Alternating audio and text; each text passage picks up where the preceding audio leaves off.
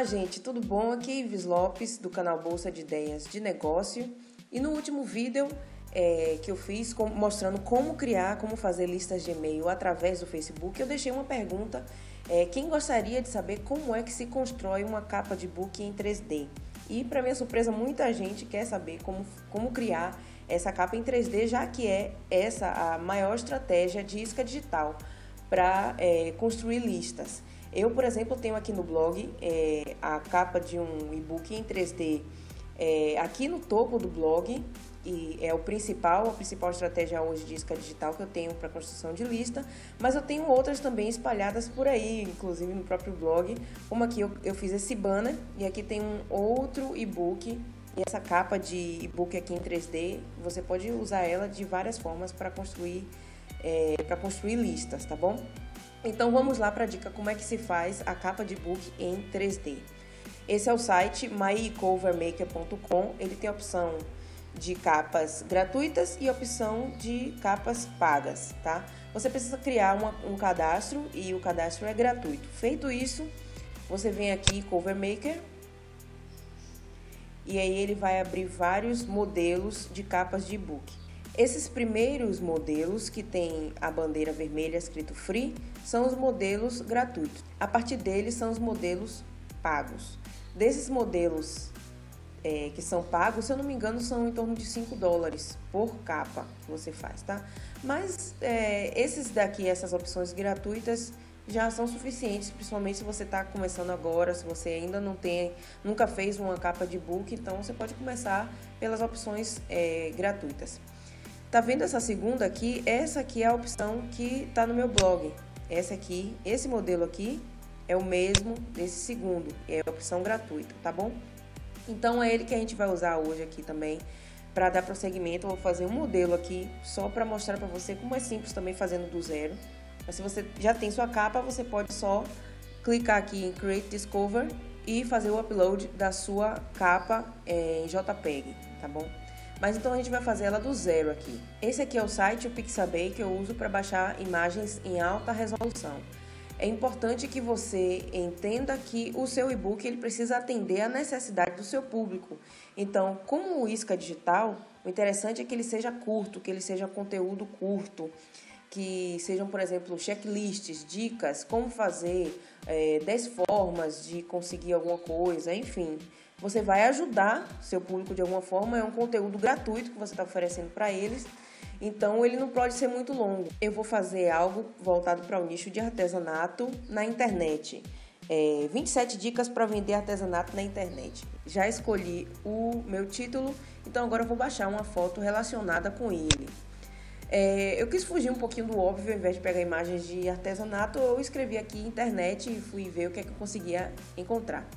Eu escolhi também colocar imagens em vertical, já que eu vou fazer um e-book no sentido vertical, então eu queria imagens assim também para facilitar também na hora de fazer a montagem. Então eu já escrevi aqui internet vertical e ele me, abriu várias, várias opções. Quanto melhor a imagem, quanto mais limpo ela for, então mais fácil também vai ser de montar essa capa de e-book.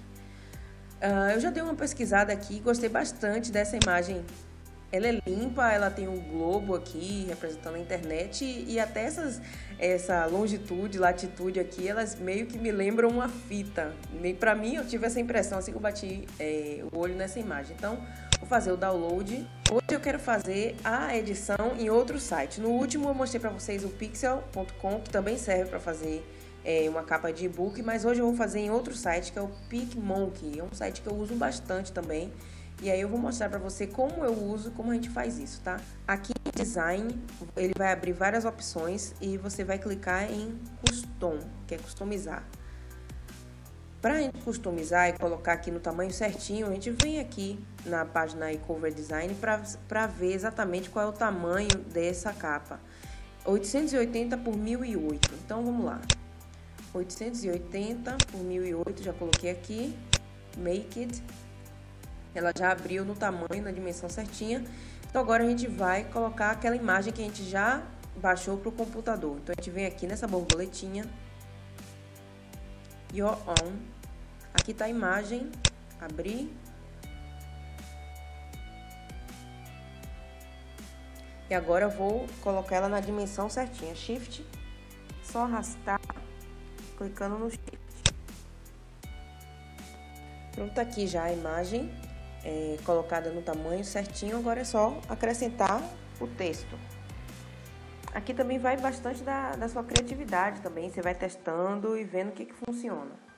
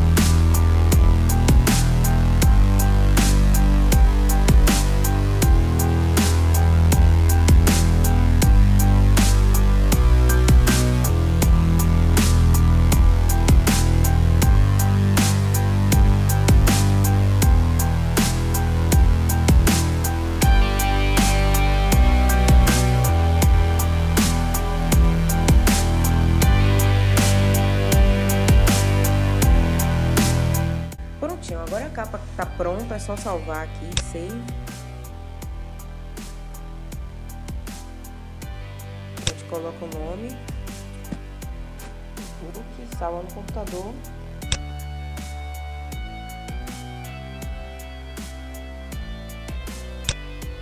E depois de salvar essa imagem no computador, é só vir aqui em Cover Design. É, a gente já escolheu que o modelo é esse aqui, então vamos em Create Discover. E agora é só clicar aqui em Upload. Bem, agora é só clicar aqui em Upload Imagens. Selecionar a imagem.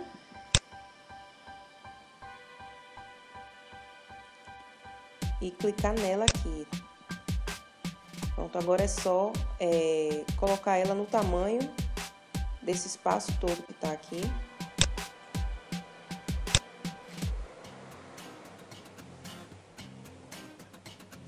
É só clicar e arrastar.